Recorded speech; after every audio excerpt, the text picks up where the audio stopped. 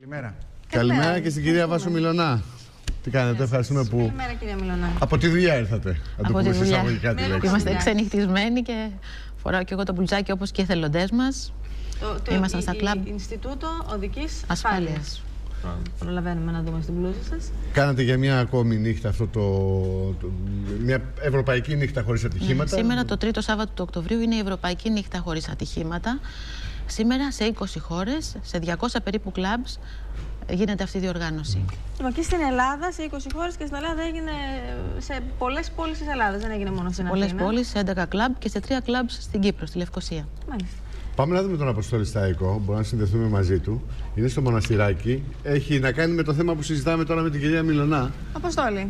Σε ένα από τα κλαμπ που έγινε, φαντάζομαι, Καλημέρα. σήμερα η θελοντική αυτή η, ο- Τι ακριβώς εργασία, έγινε, ας το τι πούμε ακριβώς έτσι. έγινε, Αποστόλη; Εκστρατεία. Καλημέρα από Και το με ποιους μοναστηράκι. έχεις μιλήσει; Τι έγινε, αυτό, το βραχιολάκι. Το βραχιολάκι που φόρεσε ο κάθε οδηγός της παρέας που πέρασε το κατόφλι του κλαμπ. Το θέμα είναι τώρα να μάθουμε πώς βγήκε. Αν βγήκε πιωμένος ή αν βγήκε ε, σε θέση να οδηγήσει. Εγώ δεν βλέπω μια πολύ ωραία Ε, παρέα. ε, δεν έχει Τον Κώστα. καταλάβει, ο τηλεθεατής δεν έχει καταλάβει τι σημαίνει το βραχιολάκι. Εμείς το ξέρουμε, δεν ξέρουν οι τηλεθεατές. Ωραία, Ποιοι το θα φορούν το μας εξηγήσει βραχιολάκι αυτό και ο Κώστας. γιατί. Και όχι εγώ. Λοιπόν, η παρέα μου σήμερα είναι πρόδρομος Νίκος, Μαριάννα, η Σελίνα από το Βέλγιο και ο Κώστας. Κώστα το βραχιολάκι αυτό μου το πέρασε στο χέρι εσύ. Ακριβώς. Ωραία. Σαν να ήμασταν μόνο στο κλαμπ. Ακριβώς. Με υποδέχεσαι λοιπόν και πες μου τι ακριβώς συμβαίνει. Καταρχήν, καλημέρα και από μένα. Καλημέρα. Καλή Κυριακή. Καλημέρα, κυρία Βάσο. Καλημέρα. Ε, αυτό το βραχιολάκι είναι- έχει την- τον εξής λόγο που μπαίνει. Έρχεσαι εσύ στο κλαμπ. Εμείς σε καλωσορίζουμε και περνάμε το βραχιολάκι με το σκεπτικό ότι αφού σε ενημερώσουμε για τη νύχτα χωρίς ατυχήματα, η οποία είναι ευρωπαϊκή σήμερα, βγαίνοντας με το βραχιολάκι αυτό, υποβάλλεσαι εφόσον θέλεις ένα φιλικό αλκοτέστ, ε, αν έχεις πιει, για να δεις πού βρίσκεται το αλκοόλ ε, στο αίμα σου. Δηλαδή όταν εγώ φοράω το βραχιολάκι σημαίνει πως δεσμεύομαι να μην πιω. Ακριβώς. Είμαι ο οδηγός που θα βάλει την παρέα στο σπίτι, άρα εγώ δεν πίνω. Ακριβώς. Ωραία. Το όριο, όπως είναι γνωστό, είναι 0,25. Για τους νέους οδηγούς, μοτοσυκλετιστές και επαγγελματίες είναι 0,10, κατεβαίνει, όπως είναι ευνόητο. Και αν το όριο είχε περαστεί από τον οδηγό, ο οποίος θα υποβληθεί σε αλκοτέστ, αναλόγως, Και αν εγώ πιω τι γίνεται; εάν έχεις μου πει, δίνει; εάν έχεις πει, εγώ σου δίνω αυτή την καρτούλα, η οποία αφού λέει Πολύ πρώτα- χρήσιμη καρτούλα. αλκοόλ και οδήγηση δεν συνδυάζονται, έχει τηλέφωνα τον ραδιοταξί στην Αθήνα, ώστε διαλέγεις ένα ταξί και σε πάει σπίτι ασφαλή, εσένα και την παρέα σου. Πάρα πολύ ωραία. Να, ε, ξέρει επίσης αυτός που έχει βάλει το βραχιολάκι και που δεν θα πιει τι σημαίνει το 0,25, δηλαδή αν μπορεί να πιει ένα ποτήρι μπύρα ή ένα ποτήρι κρασί ή δύο ποτήρια κρασί; Ε, για να είμαι ειλικρινής, αυτό δεν το γνωρίζει κανένας αν είναι ένα ή δύο ποτήρια κρασί, δυστυχώς. Ε, και για μένα καλύτερα, αν θέλετε τη γνώμη μου, γιατί με το να υπολογίσουμε εμείς πώς και τι, νομίζω γινόμαστε μετά, ξεπερνάμε και το όριο. Μάλιστα. Από εκεί και πέρα, το ιδανικό είναι να μην πιει, γιατί το ζητούμενο δεν είναι να γλιτώσει ένα πρόστιμο 100, 200, 300 ευρώ. Ασφάλεια.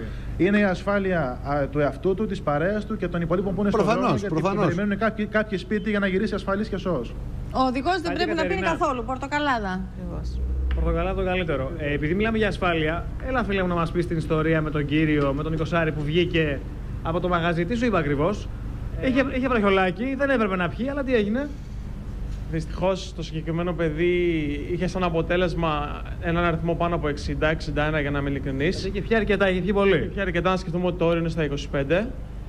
Ε, το παιδί αυτό ουσιαστικά, άμα το σταματούσε η αστυνομία, θα πήγαινε αυτόφορο, ε, θα του έπαιρναν το δίπλωμα για 6 μήνες και θα πλήρωνε και ένα πάρα πολύ μεγάλο πρόστιμο. Αλλά εντάξει, το σημαντικότερο είναι η ζωή που κινδύνευε και οι ζωές που έβαζε ο ίδιος σε κίνδυνο.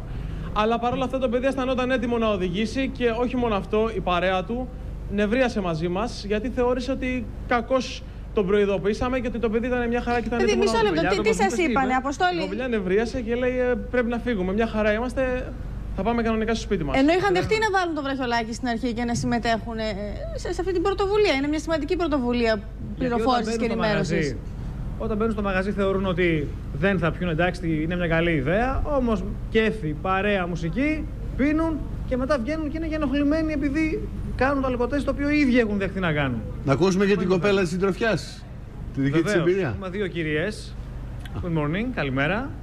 Η Σελίνα από το Βέλγιο και είναι από τους υπεύθυνους οδηγούς ε, του Βελγίου. Uh, this uh, night was your country's idea, right? Yeah, it's uh, responsible young drivers from uh, Belgium who created the action, and we had the first action in uh, 95. Μας λέει η Σελίνα πως έρχεται από τους υπεύθυνους οδηγούς του Βελγίου. Ήταν η ιδέα δική τους και είχαμε την πρώτη βαρδιά το 95. Το ενδιαφέρον είναι, Μάλιστα. Αποστόλη, αν μπορείς να τη ρωτήσεις αν έχουν αυξηθεί τα ατυχήματα ή μειωθεί τα ατυχήματα στη χώρα της από το 95 και μετά. Βεβαίως. You said something about last October. About, about October. It's a month very dangerous, Yeah. right? It's the worst month ever for young people uh, because they are mostly killed in the road. What about since then, since 95? Μα λέει η Σελήνη πω ο Οκτώβρη είναι ο πιο επικίνδυνο μήνα. Πιο πολλού θανάτου νέων παιδιών έχουμε τον Οκτώβρη. What about since then? Since But- 95, I mean. Yeah, in Belgium we can notice in 2000, for example, there was 1,600 people killed on the road, and nowadays it's 1,000 people. So Η διαφορά είναι πολύ μεγάλη. Γιατί το 2000 είχαμε 1600 άτομα που έχασαν τη ζωή τους στον δρόμο, τώρα έχουμε 600, 600, right? 600.